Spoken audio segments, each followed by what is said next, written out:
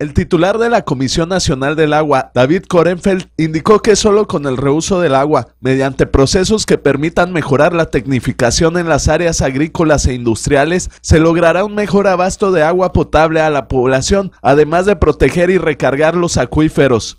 Así lo señaló durante su gira de trabajo por Irapuato y Salamanca, donde inauguró junto con el gobernador de Guanajuato, Miguel Márquez Márquez, la planta de tratamiento de aguas residuales de Salamanca, que contribuirá a preservar el agua en el acuífero al brindar la oportunidad de reutilizarla mediante el saneamiento en diversos procesos industriales o agrícolas.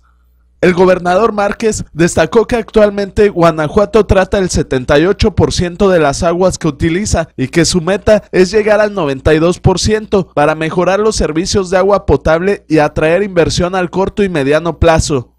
El beneficio de esa planta, que requirió de una inversión cercana a 90 millones de pesos, será para más de 150 mil habitantes de la ciudad de Salamanca.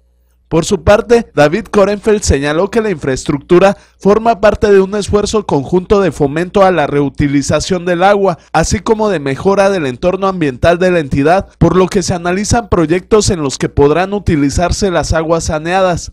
Previamente, el mandatario estatal y el titular de la Conagua realizaron un recorrido por la presa La Purísima, que con nueva tecnología en los sistemas de riego dotará de 8 millones de metros cúbicos de agua a los habitantes de Irapuato, Guanajuato, lo que representa más de 20% del consumo total anual de esta ciudad y la reducción de la sobreexplotación del acuífero Irapuato Valle. David Korenfeld aseveró que con la modernización del distrito habrá un notable incremento en la rentabilidad y productividad de los agricultores de la entidad, debido a que podrán cultivar productos de mayor valor en el mercado y que consuman menos agua. Para nuestra visión noticias, informó Gerardo Espinosa.